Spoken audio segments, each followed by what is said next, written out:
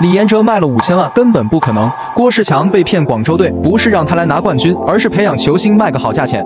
网传广州队两年亏了四千万，所以卖了李延哲五千万填补窟窿，但是周琦也就值两千万。那么李延哲到底值多少钱？没有郭士强，他连一百万都不值。李延哲十岁就来到广州男篮打球，因为父母出家，李延哲成为有父母没人抚养的半个孤儿。还好广州男篮看好这个孩子，让他吃在广州队，住在广州队，这一住就是十三年。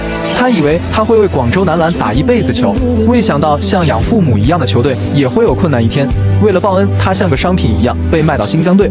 还有一个受害者就是郭士强，说好的来了是为广州男篮夺冠，构建一个冠军体系。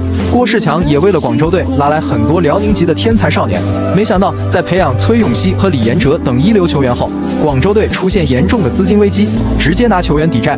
李延哲从一名普通球员直接被郭士强三年培养成青年韩德君，本赛季场均十点六分、六点八篮板、一点七个盖帽，更是联盟第三的炸裂数据。